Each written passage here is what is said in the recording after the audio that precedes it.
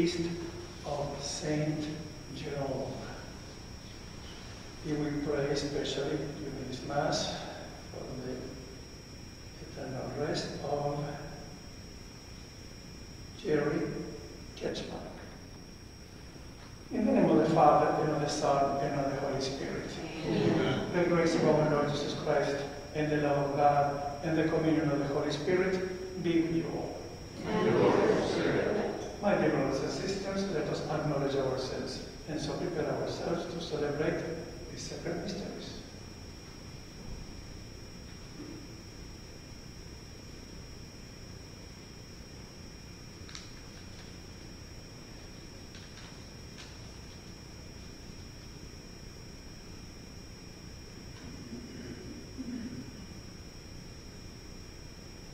I confess Lord, to God and to you, my brothers and sisters, that I have greatly sinned in my thoughts and in my words, in what I have done and what I failed to do, through my fault, through my fault, through my most grievous fault.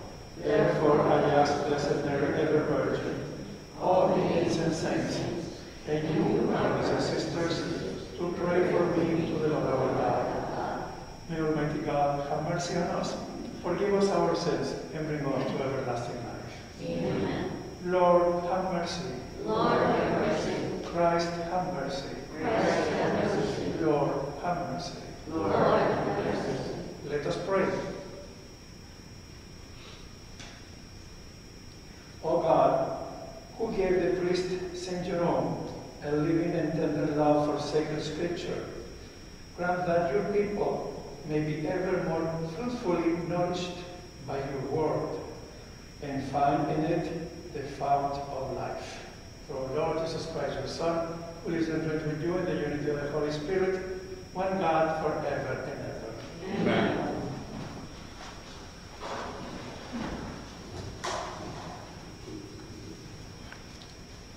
A reading from the book of Job. Jacob, Job answered his friends and said, I know well that it is so. How can a man be justified before God? Should one wish to contend with him? He could not answer him once in a thousand times. God is wise in heart and mighty in strength. Who has withstood him and remained unscathed? He removes the mountains before they know it. He overturns them in his anger. He shakes the earth out of its place and the pillars beneath its temple. He commands the sun and it rises not. He seals up the stars. He alone stretches out the heavens and treads upon the crests of the seas. He made the bear and Orion, the Pleiades and the constellations of the south. He does great things past finding out, marvelous things beyond reckoning. Should he come near me, I see him not. Should he pass by, I am not aware of him. Should he seize me forcibly, who can say to him, nay? Who can say to him, what are you doing? How much less shall I give him any answer or choose out arguments against him? Even though I were right, I could not answer him, but should rather beg for what is due me. If I appealed to him and he answered my call, I could not believe that he would hearken to my words. The word of the Lord. Thanks be to God. Let my prayer come before you, Lord. Daily I call upon you, O Lord. To you I stretch out my hands. Will you work wonders for the dead? Will the shades arise to give you thanks? Let my prayer come before you, Lord. Do they declare your mercy in the grave, your faithfulness among those who have perished? Are your wonders made known in the darkness, or your justice in the land of oblivion? Let your prayer come before you, Lord. But I, O Lord, cry out to you. With my morning prayer I wait upon you. Why, O Lord, do you reject me? Why hide me your face from me? Let my prayer come before you.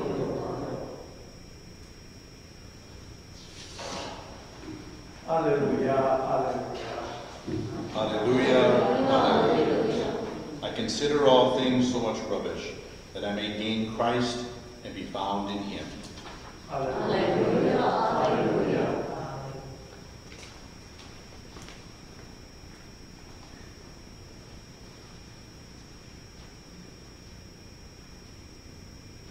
The Lord be with you.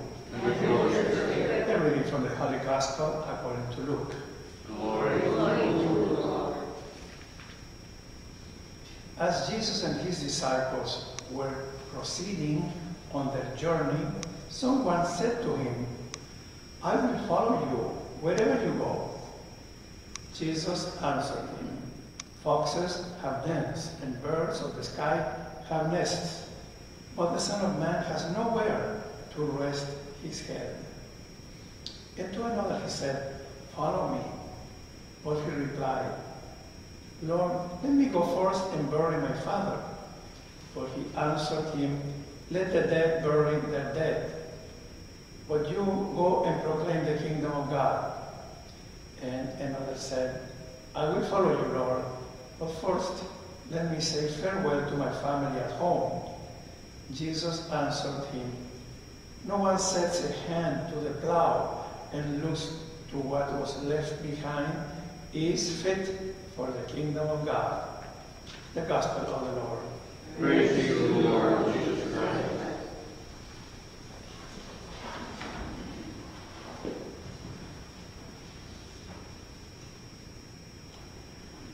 Jesus' words in today's gospel were meant to remind his listener that following him was not something to do without commitment. If he had to follow Jesus, he had to commit to the task to what Jesus was preaching. Committing to Christ results in all other aspects of one's life being put naturally into proper order. No, one's, no one who sets a hand to the plow and looks to what was left behind is fit for the kingdom of God.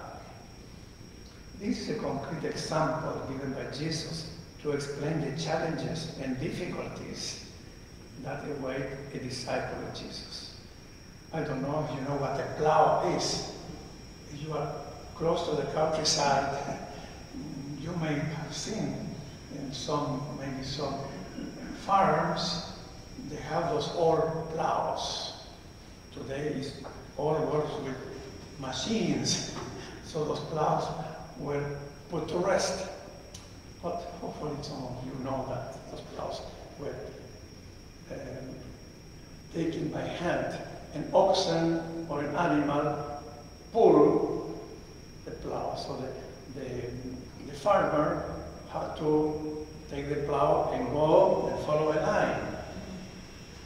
So that's why the person that had the plow cannot get distracted. You know, start looking around, looking to the birds, and, and keep on plowing. You have to plow straight, straight lines.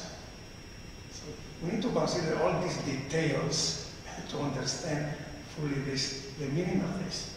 So when we put our hands into the plow, we have to concentrate in our task and go straight with the oxen or whatever animals they are. So straight lines. So because crooked lines mm, don't work in agriculture, in, in the agricultural uh, terms. More than me. So, so to put the hands in the plow, the plowshare, you need to commit yourself and put all your time and mind and go. So with the gospel of Jesus the same. We follow Jesus with all our heart, all our mind, and we, we do that. Preaching in the kingdom of God and staying in his kingdom. Okay, this is the first lesson we can um, have in this gospel. Commit ourselves totally to Jesus.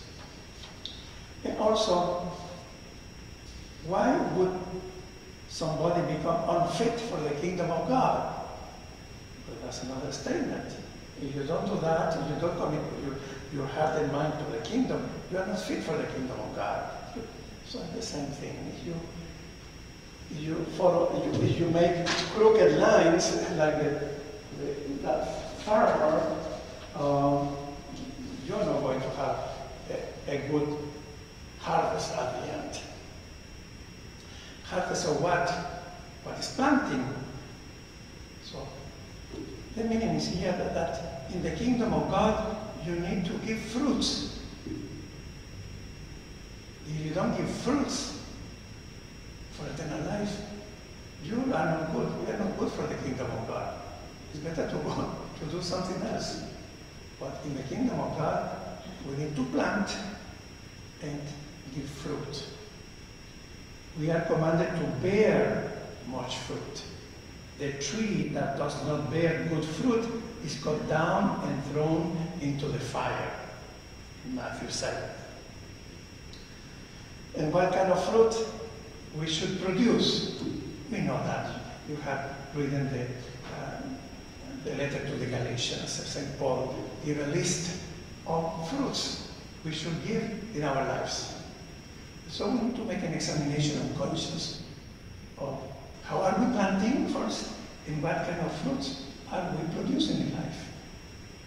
St. Paul mentions in the Galatians the fruit of patience. This is the fruit that we have to, to make it grow during our whole life. So patience grows little by little. We, we need to, to pray, we need to try when we are challenged, and so the fruit of patience will grow. And that happens every day. And since we get up in the morning, our patience is tested until we go back to sleep again, etc. And there are fruits like love, joy, peace, patience, kindness, goodness, faithfulness, gentleness, and self-control. These are the fruit we need to produce. Are you producing these fruits? Are you, if you started producing these fruits long time ago, how are you doing now? I imagine with age, all these fruits grow. Is that true? Answer to yourself, not answer me to me now. I will answer for myself. so let us make an examination of conscience of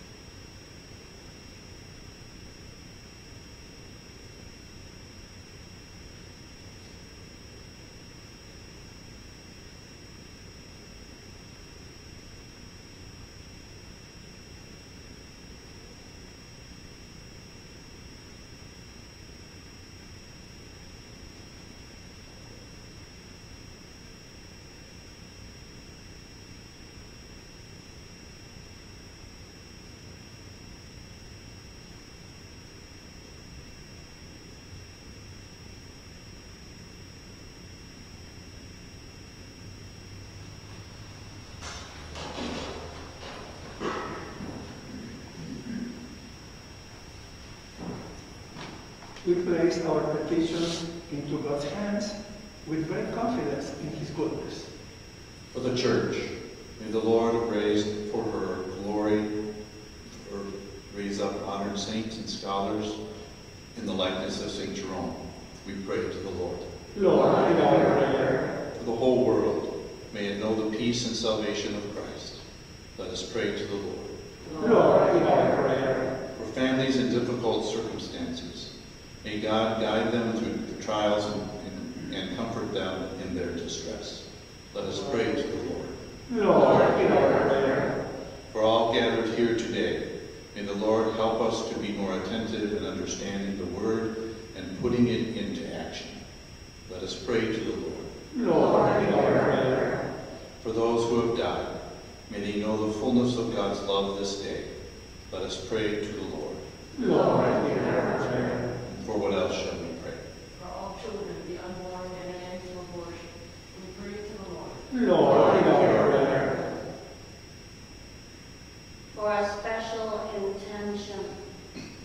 praise of the Lord. Lord, hear our prayer. That God will be able to bless our country and protect us from all evil. Let us pray to the Lord. Lord, hear our prayer.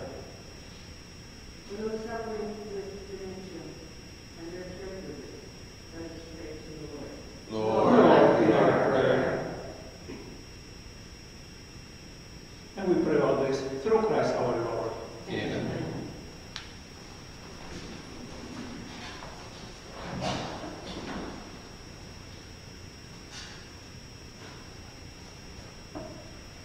Blessed are you, Lord God of our creation, for through your goodness you have received the bread we offer you. Fruit of the earth and work of human hands, you will become for us the bread of life. Blessed be God.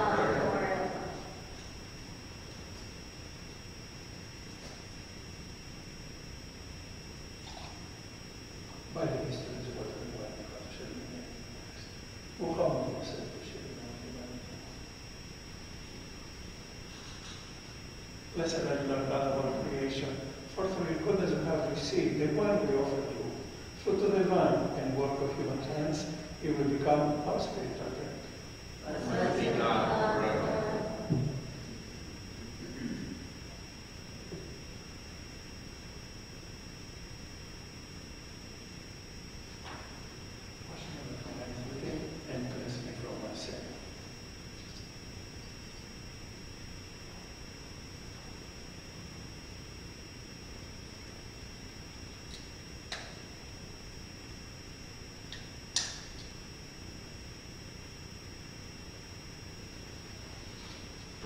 brothers and sisters, now my sacrificing and yours may be accepted on the flag my 95.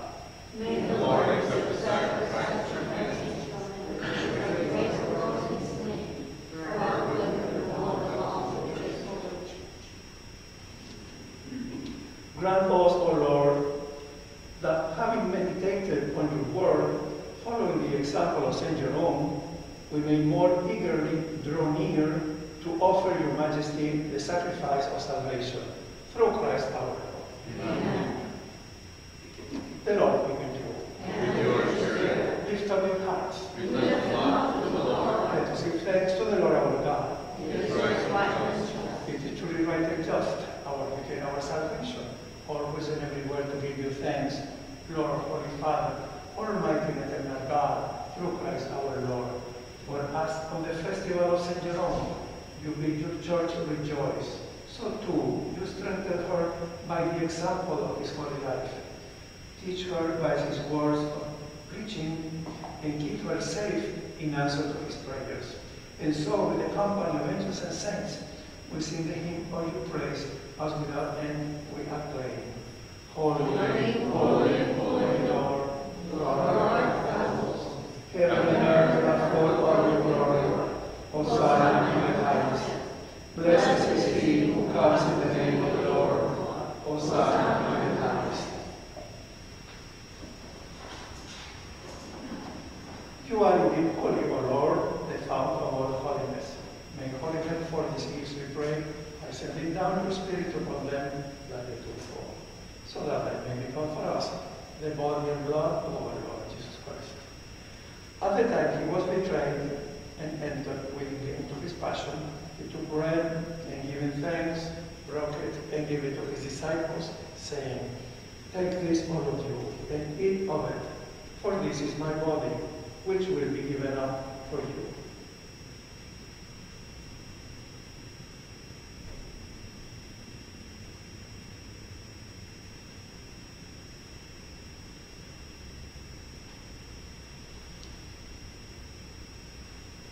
In a similar way, supper was ended, he took the chalice, and once more giving thanks, he gave it to his disciples, saying, Take this, all of you, and drink from it. For this is the chalice of my blood, the blood of the new and eternal covenant, which will be poured out for you and for many, for the forgiveness of sins. To this, in memory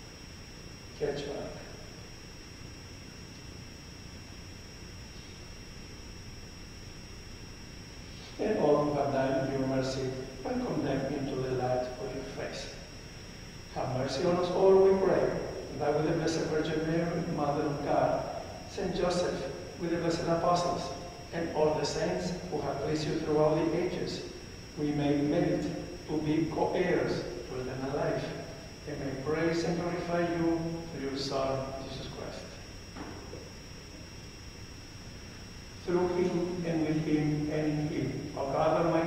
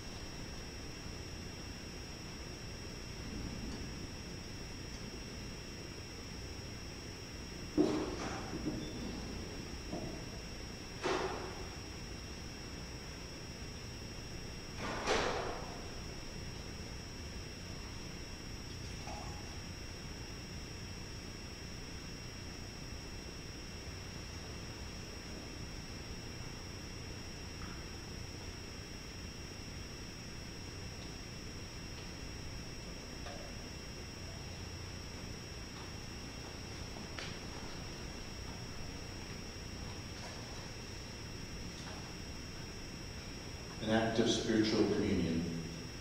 My Jesus, I believe you are present in the most holy sacrament. I love you above all things, and I desire to receive you into my soul. Since I cannot this, at this moment receive you sacramentally, come spiritually into my heart. I embrace you as if you are already there, and unite myself wholly to you. Never permit me to be separated from you. Amen.